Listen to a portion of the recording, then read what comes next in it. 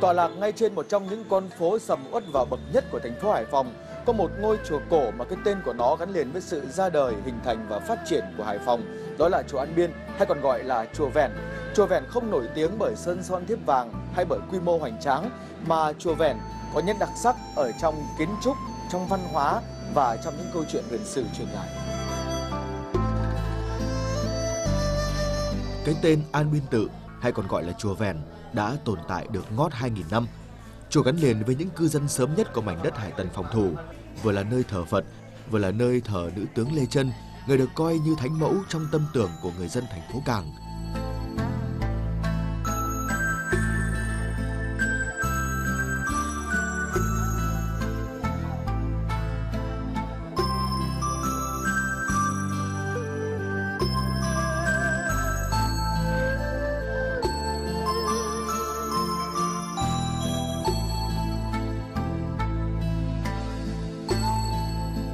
Một điểm rất đặc sắc của chùa Vẹn đó là đây là một ngôi chùa của người lao động.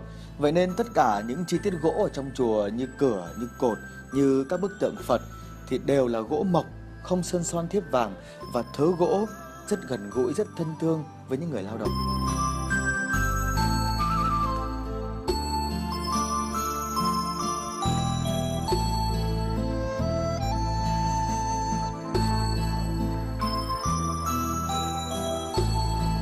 Chùa Vẹn xưa tọa lạc trên nền đất của nhá thành phố ngày nay là một trong những thánh tích cổ nhất của trang An Biên xưa.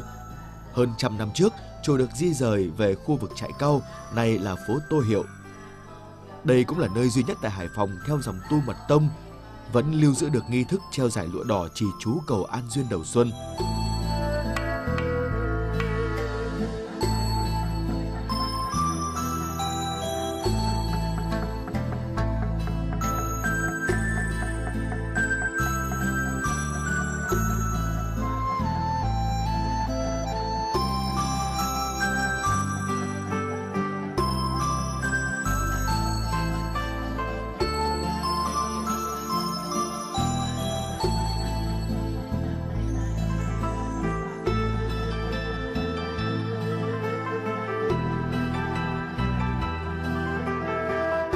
Trải qua bao thăng trầm, chùa Vẹn vẫn lưu giữ được những giá trị lịch sử, văn hóa và kiến trúc đặc sắc, là một ngôi chùa độc đáo của thành phố Hải Phòng.